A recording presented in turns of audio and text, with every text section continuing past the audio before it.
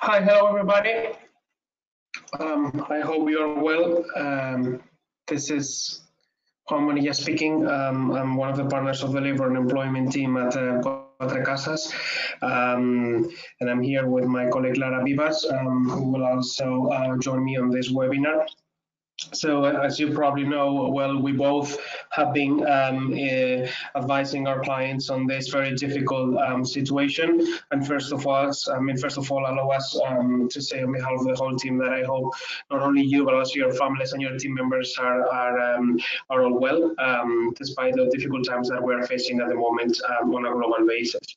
So thank you very much for joining and thank you very much for taking the time to be with us this afternoon um, uh, the, the, the idea for us would be to explain you relatively briefly what are the employment, the labor and employment measures that uh, your companies, your organizations can take um, in order to save some costs, um, particularly in terms of um, salary and social security costs and uh, are, uh, as a consequence of the, uh, the, the force majeure derived from the state of emergency that is currently happening in Spain.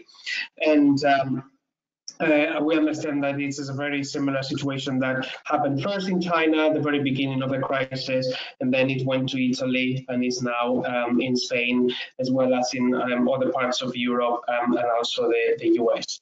So the idea, as I was saying, would be simply to try to explain to you in a very brief and basic way the uh, different measures that uh, a company can take in Spain in order to adapt um, and be a little bit more flexible in terms of the workforce based on the decrease on the uh, demands, uh, the business-related reasons, and the force majeure that is associated with the state of emergency. The webinar um, is aimed so is aimed to uh, be structured in three different parts. First of all, um, I will make a little bit of an introduction about the um, state of alarm or the state of emergency in Spain and the different measures that have been provided by the Spanish government. Um, then my partner Lara Vivas will discuss particularly the most significant um, uh, employment measure that is the what we call a collective suspension of contracts of employment. Uh, that you can consider that this is a collective lay layoff process um, and then Lara will discuss the two essential uh, uh, ways or the two essential alternatives to potentially suspend the contracts of employment. Alternative number one will be uh, to try to apply for what we call uh, temporary suspension of employment contracts based on force majeure.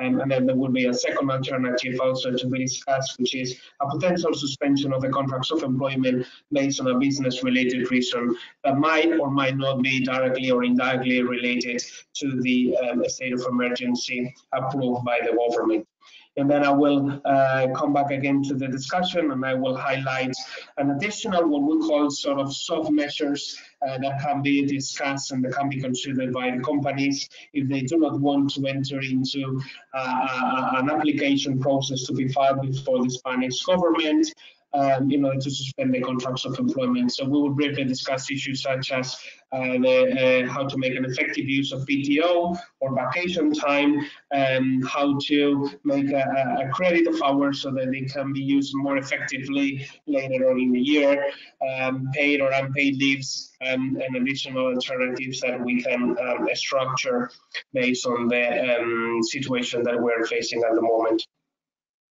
Um, so, uh, Lara, you want to um, introduce yourself? Sure. Um, thank you, Juan. So this is Lara Vivas speaking. Um, one more thing, if you have questions or if you want to send us a note uh, during this webinar, you can send us a note uh, at webinar uh, at cuatrecasas.com uh, we'll try to sort out the questions that you may have during during this brief moment that we're going to be sharing. But in any case, you can send your questions there on the web on the on the address that you're seeing on the presentation. So as as Juan was saying, um, he will go on with the a little bit of the framework on the declaration of the state of alarm that is currently in force in Spain. Thank you very much, Lara. So uh, what has happened? Uh, as in other countries, um, and we have to date back to the 14th of March, uh, when the Spanish government um, declared the state of emergency. We call it in Spanish language the state of alarm, uh, but it is more kind of linked to uh, the state of emergency that has also been declared in the US or in other uh, places in continental Europe. So the 14th of March, the Spanish government declared this state of emergency that have some implications and consequences. Particularly in the first place, there are some activities that are on forced closure um, as a consequence of the state of emergency. That means that there are also other activities that are still allowed, and then we'll come back to this a little bit later. And then there's a third point, which is the restrictions on free movement, um, which is more limited to individuals, uh, but it may also affect uh, businesses, particularly to the extent that businesses cannot operate if people cannot freely move, right? So um, first place, what are the activities uh, that are under closure, under what we call under forced closure now? Um, so it's essentially, uh, as the PowerPoint presentation says, retail establishments and, and, premises. So essentially all commercial activity has been on forced um, closure. Um, there is only one exception, which is of course supermarkets and there is also another uh, another exception, which is um, all these what we call essential services. And we'll come to that later on when we discuss the activities that are still allowed. So generally speaking, all retail establishments, all retail shops are closed effective from the 14th of March. Um, all restaurants, catering sectors, anything related to um, uh, the uh, provision of food um, except for food delivery, which is still allowed, interestingly speaking, but all the restaurants and caterings are also closed, cafes, uh, small shops, and so on and so forth. And then all the tourism, uh, particularly hotels and, and accommodations establishments, they are also in forced closure the deadline for the forced closure is March 26. The difference between hotels and any other commercial activities is because, of course, hotels could have had guests in their own uh, establishments, in their own locations, and they needed some time to vacate them and to send them back home. So uh, generally speaking, all uh, retail establishments or restaurants and catering sections, all hotels, all commercial activities are on forced closure. What does it mean? Well, it means that the employees that are devoted to these activities will not uh, be able to work. Um, and that's why the second part of the presentation will be focused on what we can do with these employees. Um, there's also, I mean, the, the, fact that there are some activities that are on forced closure means that there are other activities that are still allowed. And particularly, and this might change within the following week as it has changed in Italy, it is very uh, important to say that general industries, factories are still uh, open and are still open to the extent that the health and safety provisions can still be adequate to uh, minimize the impact of any potential uh, COVID-19 infection, coronavirus infection. So as an example, any factory that can still be open in Spain needs to take out some health and safety measures, particularly in terms of they need to guarantee that all the employees will not uh, contact each other and they will have at least separated in between one meter and one meter and a half from one to each other. So that means that there are certain factories that can still operate because they are not labor intensive in terms of employees. Uh, but there, will, there are other factories that cannot really operate because they are really intensive and they cannot uh, operate without fulfilling these uh, health and safety measures. Uh, but industry is still closed. This might change later on in the week uh, as it happens in other countries, particularly in Italy. Uh, a final element in terms of the activities that are still allowed, it is important to know that there are some activities that are really essential um, for the uh, for the crisis, and that is particularly energy, that are considered to be critical infrastructures and have special features, of course, because they, they need to operate and they need to warranty continuation of the business, even if there are some infected employees in the workplace. And they have to have some contingency plans in place, uh, essentially devoted to continue the work and continue the provision of the energy. And that also applies to essential services such as um, provision of food for supermarkets or even uh, providing for some technology or uh, communications um, uh, because we're all teleworking at the moment, or most of us are working teleworking at the moment, it is also important not to keep us isolated to that level of extent right? Restrictions on free movement, uh, as you say in the presentation, they are limited to individuals, but they may affect, they affect particularly transportation companies. Airlines, of course, are subject to a lot of restrictions to operate globally. Uh, hotels are also subject to a lot of restrictions, particularly to the extent that most of their populations, most of their guests are international, are international uh, and, and, and, overseas uh, guests and they also they have a limited activity based on the fact that people cannot freely travel in and out of the country. So um, this is essentially the, the, the, the general framework uh, of the state of emergency, of the state of alarm, which has made us uh, with a situation whereby there's a significant number of employees in Spain that they do not have work at the moment. And then we have a significant number of employees who, even though they still have work, the companies have to implement some sort of health and safety measures in order to prevent an infection in the workplace. Um, and I will um, leave to Lara to discuss particularly what to do, particularly with those employees who do not have any work at the moment. Sure, thank you, Juan, for this introduction. Um, so what is going on with companies that really do not have work due to this full situation? Um, and let me introduce here what we call the temporary suspension of employment contracts or the temporary reduction of working time. They are both uh, structured in the same way. They need to be done through the same procedure. And what essentially happens is that the Spanish legislation allows companies to send employees on unemployment for a period of time that has to be temporary during these difficult um, these, these difficult times. Um, this is not peculiar to this COVID situation. It was enforced before, but as in every country these days, we are seeing changes in the particular procedure that needs to be followed to put in place this kind of, of measures. Um, basically, what has happened the last week is that um, the procedure was reduced in terms of uh, the duration, and it was also simplified in terms of how much documentation has to be delivered to the authorities. Just as, a, as an idea for you, there's over 10,000 companies that have already filed this. Um, and we have hundreds of thousands of employees currently going onto unemployment during the state of alarm and, and the special situation. So how, how do you go on with these temporary suspensions or temporary reductions of working time?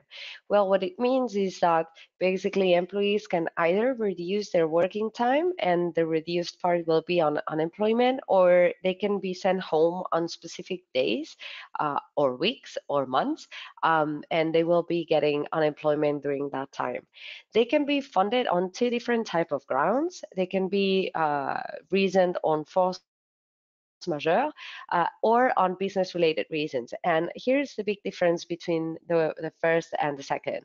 Um, the causes that the force majeure is going to be grounding the cases where, as Juan explained before, the activities have been limited or restricted directly by the government during the crisis. So this is a very clear situation where companies can say that they need to send employees on unemployment. And as you may imagine, if you're a retail store and the government tells you that you cannot operate during the state of alarm because everyone has to stay home, um, obviously you have no occupation for your employees during those days, and consequently, uh, these employees can be sent home and uh, be paid unemployment. So this is a, a an easy way. Um, as we said, it would apply to suspension or cancellation of activities, as Juan said. Obviously, uh, to the extent that the government prohibited all kind of big events, uh, concerts, um, uh, cultural activities, movies, and so on, all of those would also be linked to the force majeure. Uh, obviously, also uh, things that would directly um, derive from the restriction of mobility of the employees. Those would also uh, be arguably uh, force majeure. Um, and, and very clearly also the lack of supplies that seriously impede the continued development of the activity. So if it becomes impossible for a company to continue rendering services because there's no supplies reaching Spain um, or the plant, um, that would be a reason for force majeure. And in this in this relation, please remember that Europe has closed borders, um, not for uh, not for merchandising, but for people and for certain um, uh, uh, traveling. So this can be also a reason for the force majeure. And finally, also uh, for urgent and extraordinary situations where you've seen where we've seen uh, employees that got that got infected, and therefore there's no possibility to uh, continue working due to the sick leave of a relevant number of employees, or just because it's not possible to continue with the health the health and safety measures in place in the companies. Um, beyond those, which are very clearly those related by, by the government, those prohibited by the government, we would be able to argue um, the direct decrease of activity of a certain company due to the COVID-19. But as you may imagine, you know, the further we get from the directly prohibited activities, the more we need to argue um, that those need to be to be related to the COVID. Um, what happens if we're not in one of those situations? Well, what happens is that we can still send people home because we might really not have an activity for our employees, but we could do it on business related reasons. Um, that means that if we have a loss in production, uh, so a relevant change in the demand of products or services that we are offering into the market, um, and these and these uh, services are substantially reduced by the full crisis, we'll be able to still argue that we cannot have an occupation for employees, and we'll be able to send these employees into unemployment. So what's the big difference between the two reasons? So the, the big difference between the two has to do with the procedure and with the grounds and of course as well with the uh, with some benefits attached to the force majeure that are not applying into business related reasons um, in both cases, please let us please see that there that unemployment in Spain will be an amount that will be rather limited, and it will be of a maximum of between 1,000 and 1,400 uh, and 1,400 euro per month, depending on the situation of each of the, of the employees. But it will not reach anything further, which, as you may imagine, it is a very substantial it has a very substantial impact into the domestic um, the domestic uh, balance of, of, of each of the employee situation. So what's the difference between the two uh, procedures? And let me just go through it very quickly. The procedure for force majeure to request the suspension of employment starts with a request to the labor authority. Um, we need to simply file a request uh, with, with a report that indicates the link between the activity and the COVID uh, 19. Um, it has to be communicated to the interested parties and to the works representatives if they exist. Um, uh, they then, the labor authority will then have five days to um, deliver whether they estimate that this is a force majeure case or not. And if there is a force majeure case, the effects of the unemployment will be retroactive from the date of the existence of the force majeure. Um, this is very relevant as you see, there is no negotiation with the works representatives or the employees. So employees, if the labor authority decides that there is a force majeure, they will go straight into unemployment and for the full duration of the state of alarm. Um, the state of alarm was set first until the 29th of March, but it will be approved probably tomorrow that it will go on until the 12th of April. The procedure for business-related reasons is slightly different. Um, it as well starts with the communication to uh, the, in this case, to the works employees or the unions. Um, this is a change introduced last week. Um, so it has to start with a communication to the works representatives, employees, or the unions. Um, and then it will go on uh, by, it will follow with the delivery of uh, the documentation justifying the grounds. Um, those will be discussed for a maximum period of seven days with the unions or the works representatives for that specific negotiation, and that will end with either an agreement or with or without an agreement. Um, but in any case, the company at the end will need to communicate its decision on the uh, suspension, and then it will need to follow up with the public employment services for the unemployment um, payment. So as you may see, it is uh, there is a need for negotiation, not necessarily a need for an agreement. And please note that because the force majeure will normally applied during the state of alarm only, the procedure for business-related reasons will be compatible with the other procedure, especially for those activities that will not recover immediately upon determination of the state of alarm um, because some activities, of course, will need a little bit longer to go back to normal. Um, this as far as the procedures, Juan, if you want to go on. Thank you very much, Lara. So I think that makes perfect sense. If I can just quickly summarize uh, for the for the attendees, uh, the procedure, I mean, the process for a collective suspension of contracts of employment is essentially a cost-saving exercise for the companies. So what the company can save, the company can save the salaries of the employees, um, and the company can save also the social security contributions up to a certain limits, as, as Lara was discussing.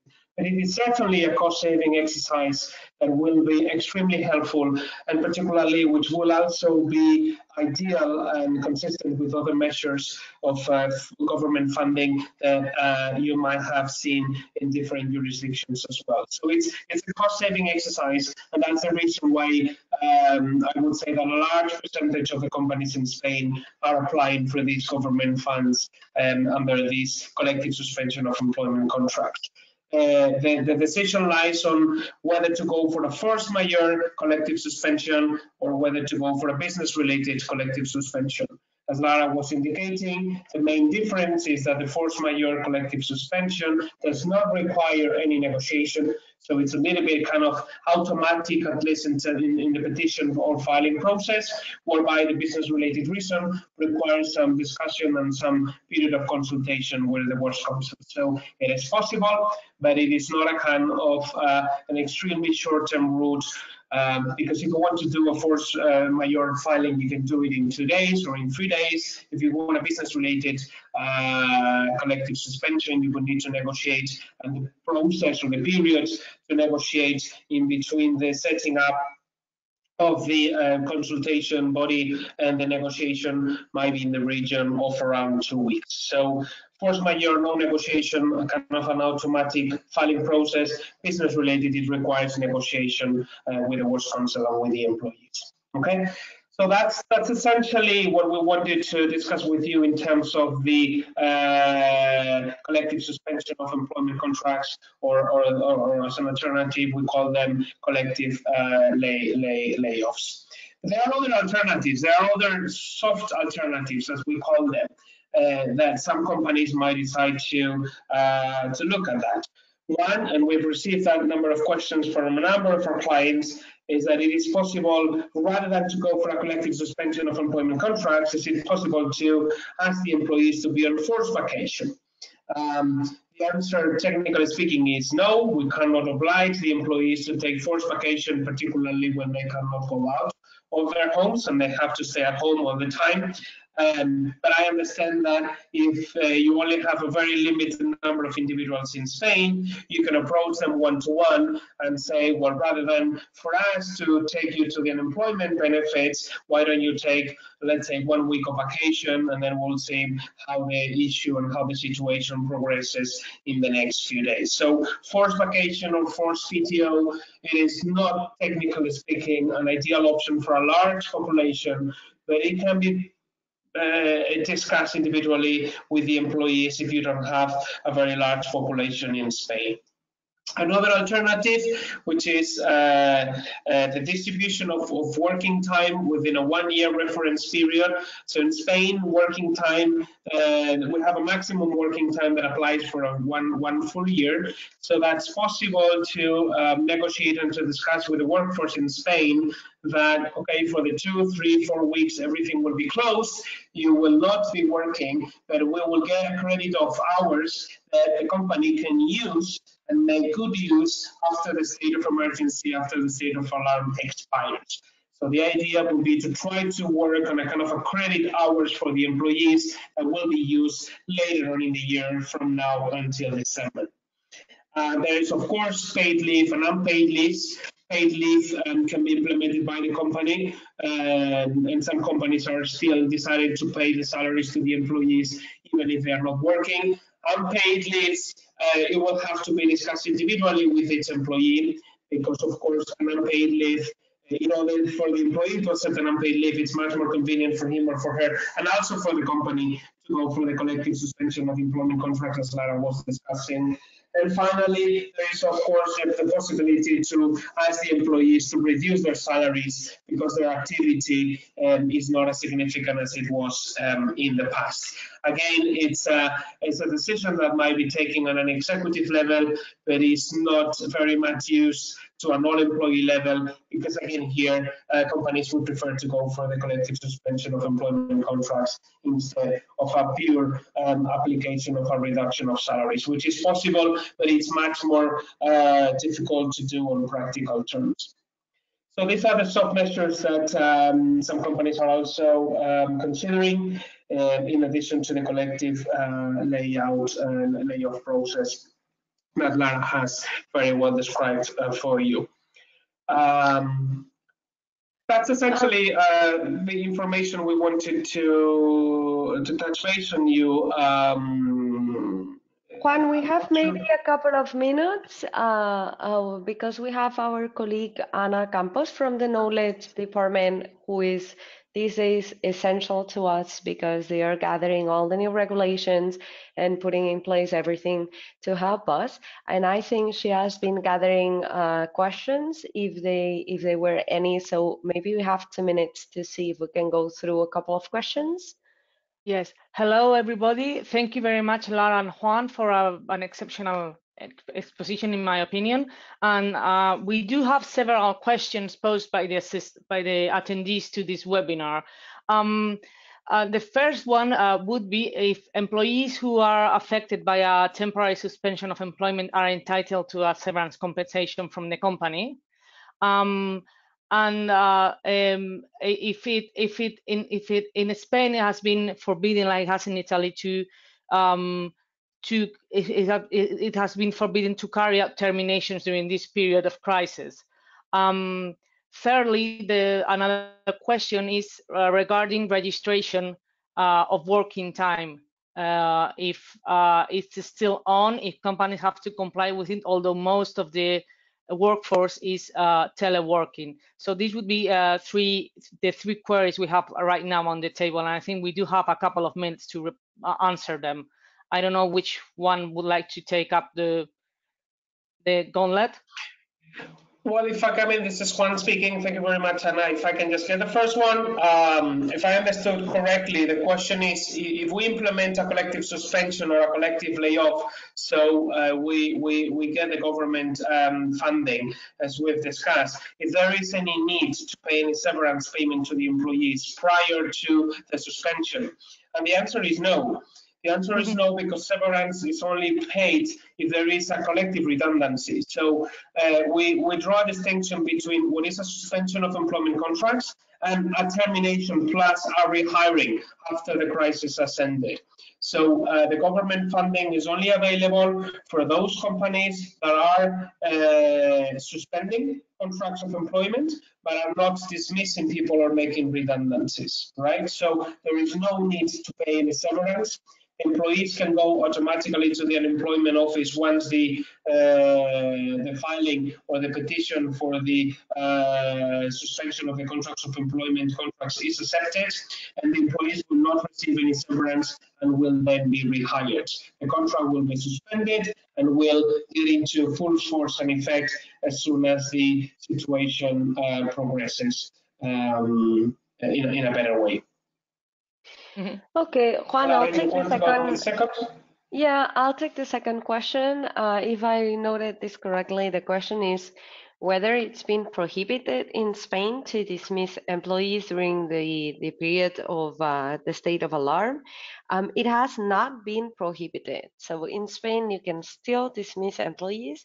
Um, the only thing that is relevant here is that some of the benefits that have been put in place uh, last week, uh, such as the exemption of social security contributions during the temporary suspension of employment contracts due to force majeure, will require the companies to um, maintain employment during a period of six months after the re reinstatement of the activity. So essentially, it means that uh, if the company is benefiting from certain exceptional measures put in place for this COVID, um, there will be a need to maintain employment for a period of six months.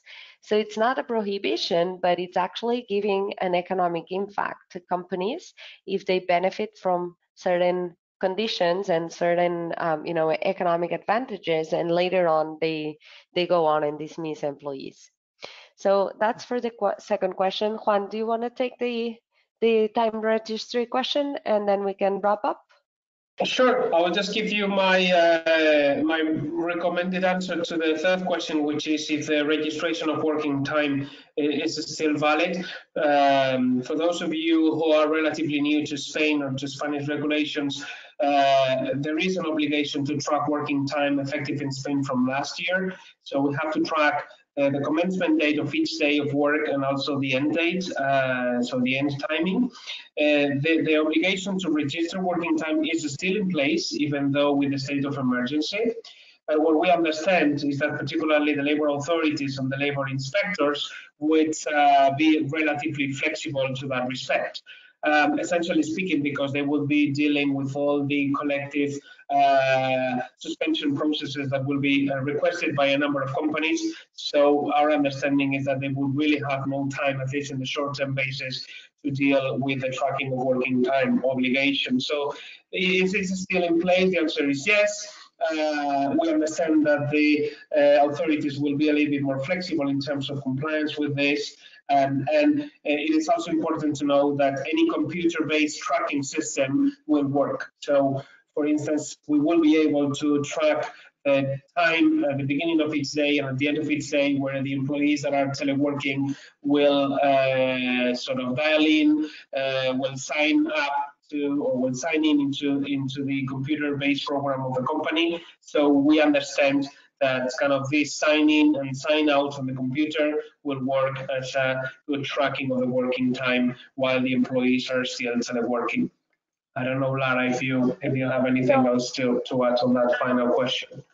I fully agree with it. Um, so I think with that, uh, Juan, we can wrap up. Uh, I think what we wanted to share with you is a very a very short summary uh, in a nutshell what's going on in Spain.